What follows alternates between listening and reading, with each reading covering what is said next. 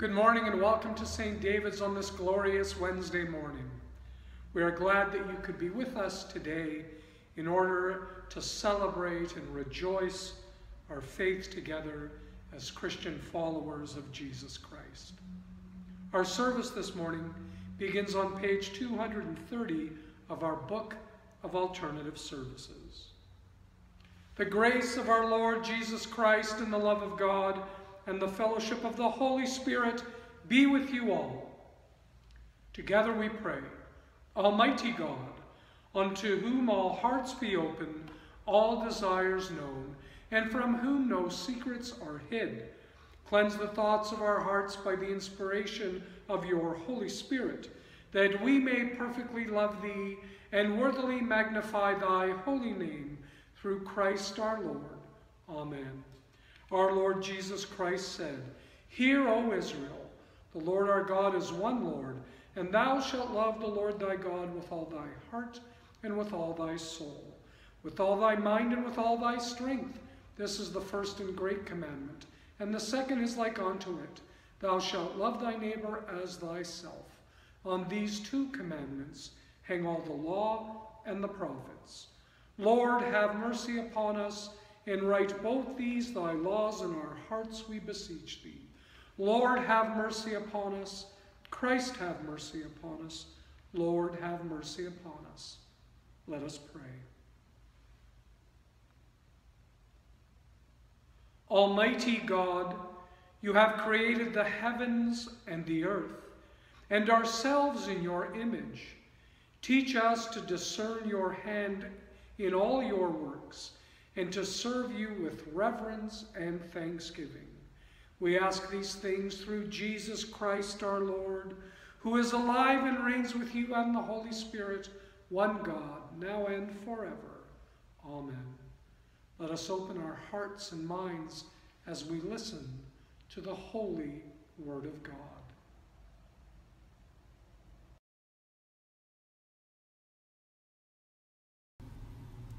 A reading from the book of Exodus. The whole congregation of the Israelites complained against Moses and Aaron in the wilderness. The Israelites said to them, If only we had died by the hand of the Lord in the land of Egypt, when we sat by the flesh pots and ate our fill of bread. For you have brought us out into this wilderness to kill this whole assembly with hunger. Then the Lord said to Moses, I am going to rain bread from heaven for you and each day the people shall go out and gather enough for that day. In that way I will test them, whether they will follow my instruction or not. On the sixth day, when they prepare what they bring in, it will be twice as much as they gather on other days. So Moses and Aaron said to all the Israelites, In the evening you shall know that it was the Lord who brought you out of the land of Egypt, and in the morning you shall see the glory of the Lord, because he has heard your complaining against the Lord. For what are we, that you complain against us. And Moses said, When the Lord gives you meat to eat in the evening, and your fill of bread in the morning, because the Lord has heard the complaining that you utter against him, what are we? Your complaining is not against us, but against the Lord. Then Moses said to Aaron, Say to the whole congregation of the Israelites, Draw near to the Lord, for he has heard your complaining. And as Aaron spoke to the whole congregation of the Israelites, they looked toward the wilderness, and the glory of the Lord appeared in the cloud. The Lord spoke to Moses and said, I have heard the complaining of the Israelites. Say to them, At twilight you shall eat meat, and in the morning you shall have your fill of bread. Then you shall know that I am the Lord your God. In the evening quails came up and covered the camp, and in the morning there was a layer of dew around the camp. When the layer of dew lifted, there on the surface of the wilderness was a fine flaky substance, as fine as frost on the ground. When the Israelites saw it, they said to one another, What is it? For they did not know what it was. Moses said to them, It is the bread that the Lord has given you to eat. The word of the Lord. A reading from the letter of St. Paul to the Philippians. For to me living is Christ and dying is gain. If I am to live in the flesh, that means fruitful labor for me. and do not know which one I prefer. I am hard pressed between the two. My desire is to depart and to be with Christ, for that is far better. But to remain in the flesh is more necessary for you. Since I am convinced of this, I know that I will remain and continue with all of you for your progress and joy and faith, so that I may share abundantly in your boasting of Christ Jesus when I come to you again. Only live your life in a manner worthy of the gospel of Christ, so that whether I come and see you or am absent and hear about you, I will know that you are standing firm in one spirit, striving side by side with one mind for the faith of the gospel, and are in no way intimidated by your opponents. For them, this is evidence of their destruction, but of your salvation. And this is God's doing. For he has graciously granted you the privilege of not only believing in Christ, but of suffering for him as well, since you are having the same struggle that you saw I had, and now hear that I still have. The word of the Lord. The Holy Gospel of our Lord Jesus Christ according to Matthew. Jesus said, For the kingdom of heaven is like a landowner who went out early in the morning to hire laborers for his vineyard. After agreeing with the laborers for the usual daily wage, he sent them to his vineyard. When he went out about nine o'clock, he saw others standing idle in the marketplace. And he said to them, You also go into the vineyard, and I will pay you whatever is right. So they went. When he went out again about noon, about three o'clock, he did the same. And about five o'clock, he went out and found others standing around. And he said to them, why are you standing here idle all day? They said to him, Because no one has hired us. He said to them, You also go into the vineyard. When evening came, the owner of the vineyard said to his manager, Call the laborers and give them their pay, beginning with the last and then going to the first. When those hired about five o'clock came, each of them received the usual daily wage. Now, when the first came, they thought they would receive more, but each of them also received the usually da daily wage. And when they received it, they grumbled against the landowner, saying, These last worked only one hour, and you have made them equal to us, who have borne the burden of the day and the scorching heat. But he replied to one of them, Friend, I am doing you no wrong. Did you not agree with me for the usual daily wage? Take what belongs to you and go. I choose to give to this last the same as I give to you. Am I not allowed to do what I choose with what, I, what belongs to me? Or are you envious because I am generous? So the last will be first, and the first will be last. This is the gospel of Christ. Dear brothers and sisters in Christ, I speak to you today in the name of God the Father, God the Son, and God the Holy Spirit. Amen.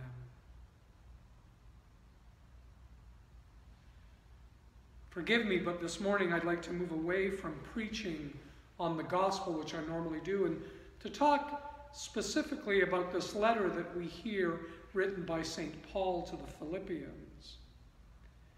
It's an interesting one in the sense that Paul is writing this letter during a period of imprisonment in which he is now sharing a number of things, and most importantly, thanksgiving. He begins in verse 1 of chapter 1 saying that he is thankful to God for allowing him to go out and proclaim the word of Christ to all those who will receive it. And then in the verses that we hear in this particular section of the letter, verses 21 to 30, St. Paul urges the members of that Christian community to live their lives in a way in which they will proclaim the gifts of God to all those who will receive it, so that they may be examples of God's great grace in the world for all of those to see. And it's interesting that he says in this letter that whether he is with them to witness the great works that they do, the ways in which they proclaim their message to people that they encounter, or whether he hears about them and can't be with them in either way, he wants them to be to radiate the Spirit of Christ so that all may know that they are his disciples. I have probably uh, used this example, this story that I'm about to recount to you as an example of how thanksgiving leads a human being to live their life in a way in which they try and radiate the love of Christ. A few years ago, well, a number of years ago now, when I was still at Trinity College. I think I told you the story about a young lady who had uh, experienced uh, great violence uh, in her home life. And one day she picked up her children and decided to flee her then home and seek refuge at a neighbor's home. And when she arrived there, she was taken in by this wonderful couple. And as such, she lived with them for uh, a year or so, during which time she labored on their farm, uh, providing them with assistance in working the fields of the farm in which she was at. And in return, she and her daughters were able to have a safe and wonderful place to live. She retold us that story, not that she had to, as we gathered many years later in school. And as she expressed the feelings that she encountered as a result of their generosity and kindness, she said that as a result of their warmth, their hospitality, and their Christian love for her, she truly felt the presence of Christ in her life and how it transformed her, not only that day or that period of time that she lived with them, but forever. And as a result of that, she decided that she would go and study Scripture and the Bible more fully. So she went off to the University of Toronto and to Knox College and began her studies as a theological student uh, within the Presbyterian uh, College. She said that as she immersed herself more fully in Scripture and in the teachings of Christ, she began to feel this radiating love for her and for all of humanity. And so she decided that she would go on to become a minister. And she felt it was most important for us uh, to know that she felt above all things a need to proclaim and tell her story to all those who would listen, because in doing so, she felt that she was now sharing that love that she experienced full, uh, fully and firsthand with others. Her hope was that by introducing Christ to those that she encountered, they too would experience that overwhelming love and so would be led to a life of faith in which they could truly feel this profound love that God has for them. I would argue that each of us, in some way, has experienced that kind of love in whatever moments in our lives, In whatever difficulties or joys that we experience, perhaps we have seen and witnessed firsthand the presence of Christ in our lives.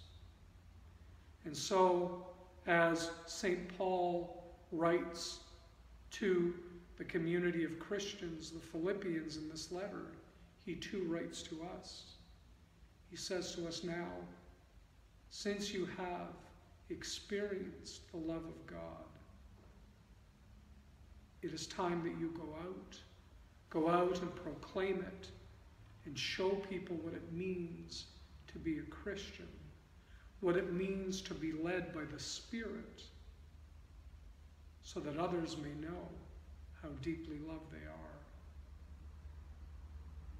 are. As we go through our lives these days and witness the great struggles and perhaps atrocities around the world, perhaps we too must go forward and proclaim the peace and love of Christ to all those who will have it.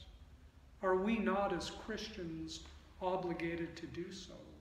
Are we not, as Christians, asked and called to be apostles of Christ, to be sent out into the world as shining examples of what that life could offer and love could offer to others? And if we are, then the question for us always remains how do we do that? I invite you all to pick up the Bible this week, to read through the words of this letter to the Philippians that Paul and Timothy write, and then to consider for yourselves how can I go out and proclaim Christ to all those who meet in my workplace, in my families, in my faith communities, and everywhere. Sometimes we lose sight of the fact that we have an obligation in our faith to do just that. And as you consider it, I pray that God gives you the strength and the ability to go forward with honesty, with sincerity, and with an open heart to share that which you already know that God is with you, that God loves you, and that God's love is undeniably present here and forever.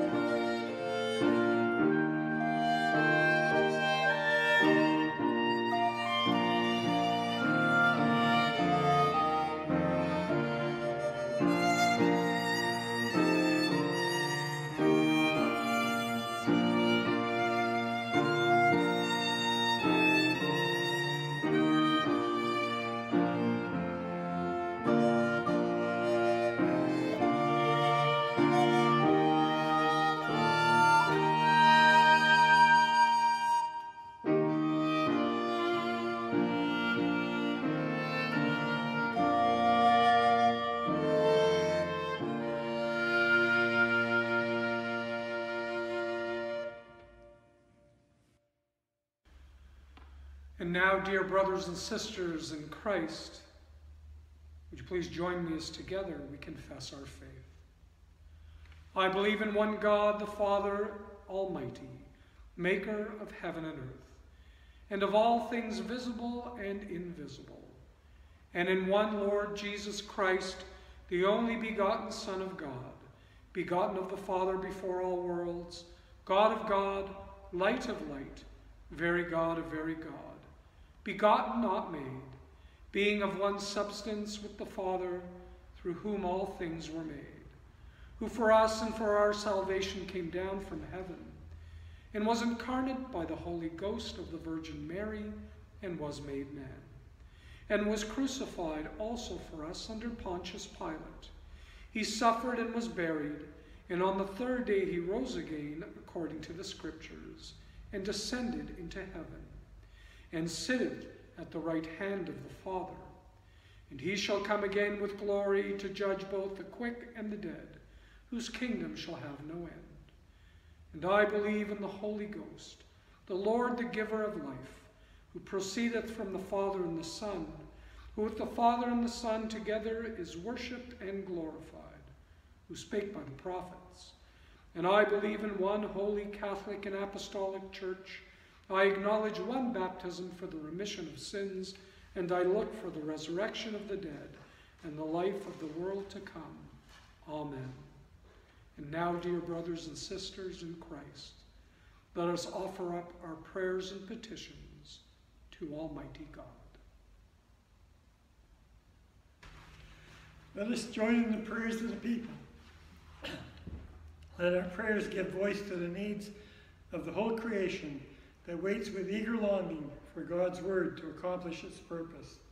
Lord, in your mercy, Your our prayer. Let us pray that the church, like the sower in the parable, not judge the soil or measure the seed, but trust God to ensure a bountiful yield. Lord, in your mercy. Hear our prayer. Let us pray for our Bishop Susan, our Primate Linda, and our Metropolitan Anne. Lord, in your mercy. Hear our prayer.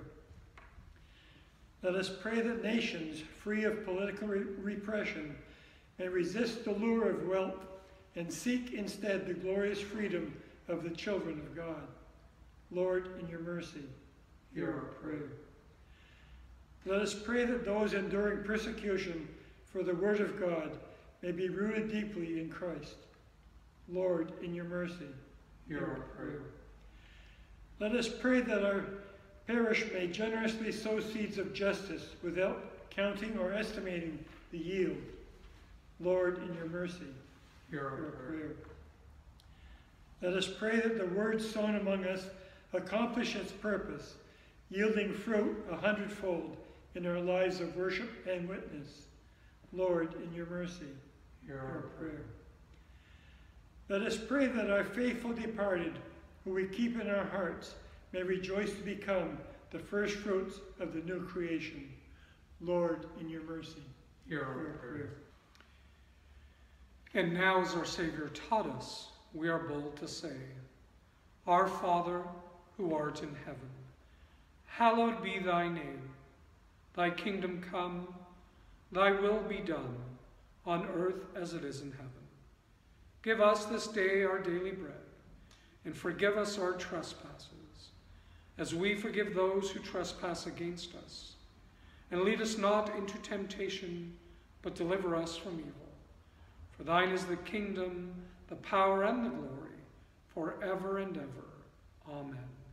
And glory to God, whose power working in us can do infinitely more than we can ask or imagine.